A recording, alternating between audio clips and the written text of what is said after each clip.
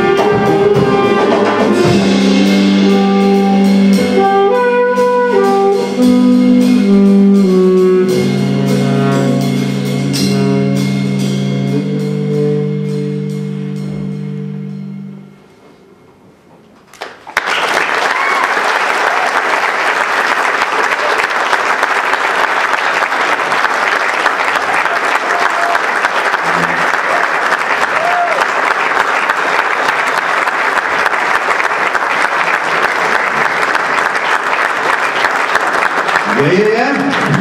Aarhus Universitets Big Bands, aftens sidste orkester.